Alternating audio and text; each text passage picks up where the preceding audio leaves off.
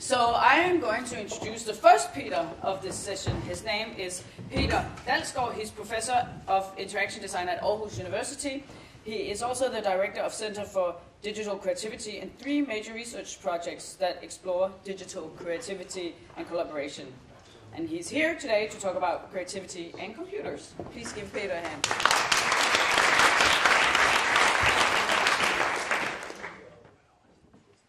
Thank you so much, Christiana, and uh, thank you for putting me in this inspiring session. I very much look forward to hearing the next speakers as well. Um, I've also actually really enjoyed this conference, and at, at, the conference, we've seen many examples of how digital systems are spreading into more and more spheres of human activity. Um, in my work, I'm particularly fascinated with what happens when computers become part of and gradually change one particular type of activity, namely creativity. We've also seen at this conference many new and fascinating technologies out there, and it's very easy to get seduced by them. I can feel that myself with with several of the things I've seen here over the past two days. But as a researcher, my goal here today is not to promote a specific technology or service.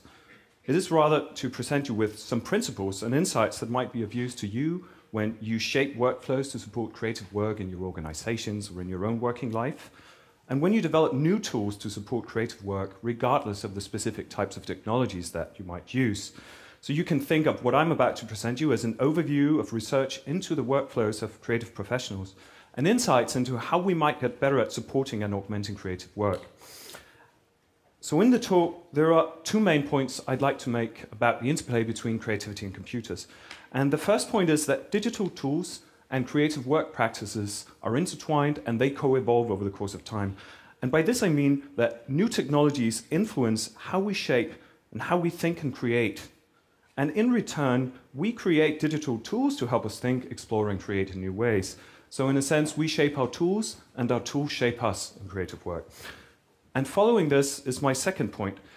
If we want to create tools that are good at supporting and augmenting creative work, it's not enough for us to understand all the amazing things we can do from a technical perspective, although that may very well be the prerequisite for building new tools.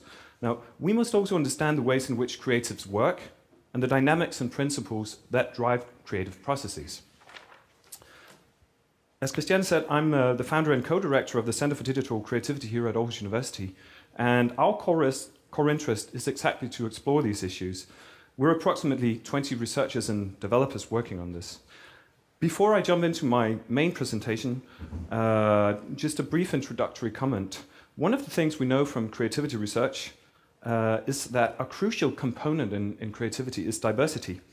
And uh, you just heard the names of the presenters. I realized a couple of days ago that, except for our moderator, Christiane Weiluk, I am in fact in a session full of male speakers. So I've tried to stick to only using examples of female pioneers uh, in the field of digital creativity in my uh, presentation.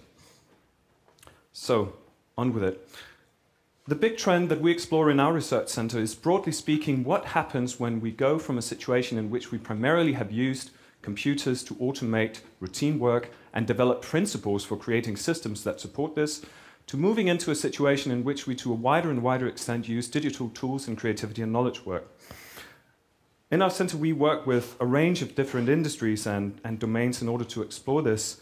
Uh, our collaborators include, among others, Lego Education, Microsoft Research, Designit, as well as a range of public institutions uh, and partners such as municipalities and libraries across Europe.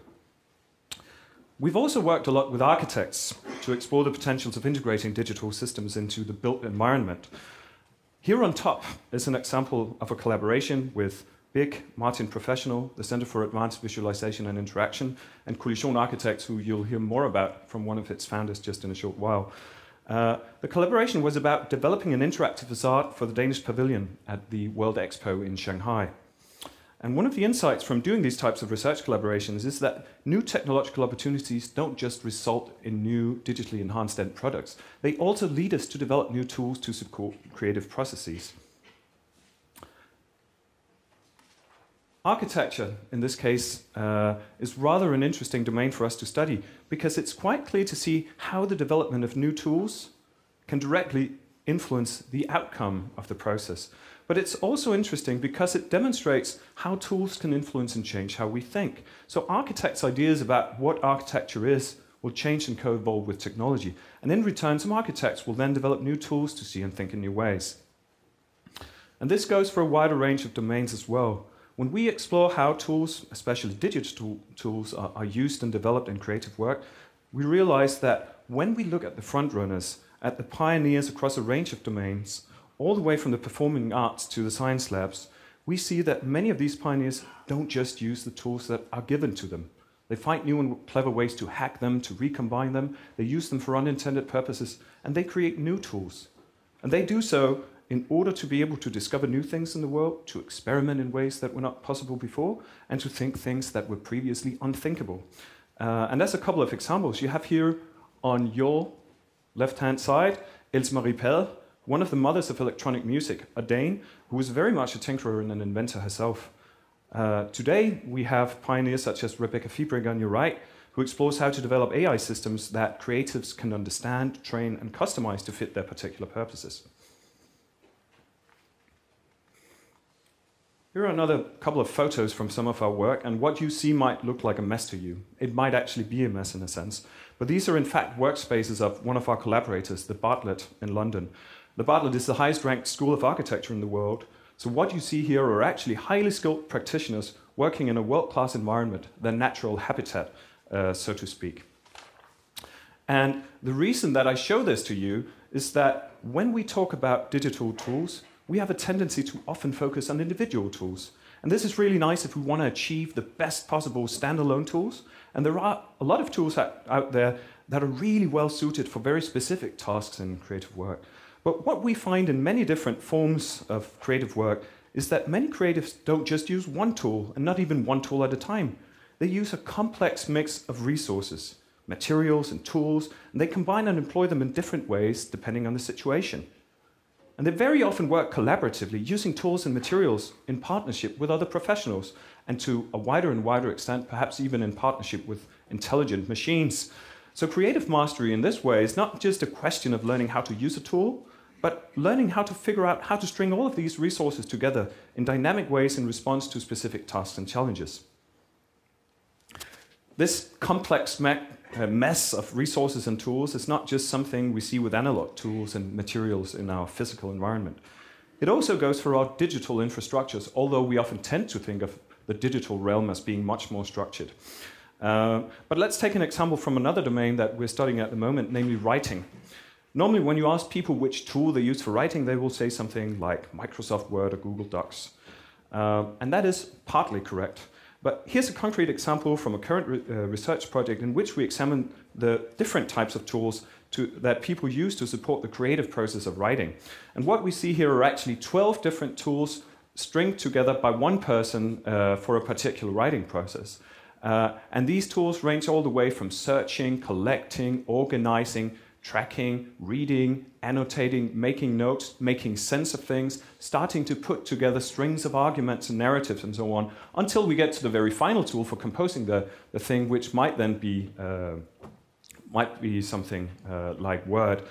And the reason I mention this to you is that when we look at these tools and we talk to these people, we find that these tools only to a very limited extent are able to communicate. They're not very interoperable. It's hard even to do something that you would imagine as being simple as moving text from one into the other, let alone, let's say that in tool number three, you want to annotate something and hope that this propagates or spreads to like tool number 11. That's never going to happen with the current systems we have now.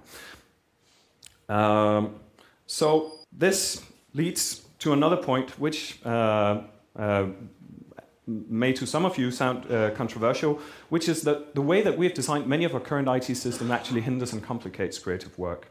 On the one hand, because it's hard to combine and integrate tools in meaningful ways, and it's even harder to modify them so that they fit into creative practices. If we think about uh, a few of the things I've said before and, and think about how creative professionals need to combine tools dynamically to hack them, to develop them, and string them together, we can see why this might be a problem. But more so, this is also the case because there are many critical aspects of the creative process that current tools simply haven't been developed to support. And as I started out by saying, many tools have been built to automate routine work. And this means that we have developed principles for developing certain types of tools that emphasize things like efficiency, minimizing errors, adhering to standards. And these are fine principles. We teach them to our students when we want to teach them how to create usable systems. Uh, I wouldn't recommend uh, that, that we disregard them. But we, also, we must also realize that these are very different principles from the principles and processes that are central to creative work, such as experimentation, improvisation, combining and remixing seemingly opposing ideas, or even learning from mistakes. In a sense, we can see this state of affairs as a problem, and it certainly can be for creative professionals today.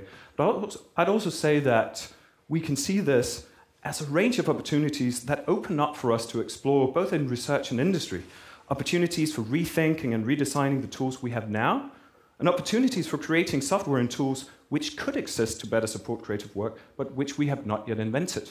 And this to me is fascinating stuff. Now, a question I was asked when I was invited to do this talk was to talk about the creative tool of tomorrow and what it might look like.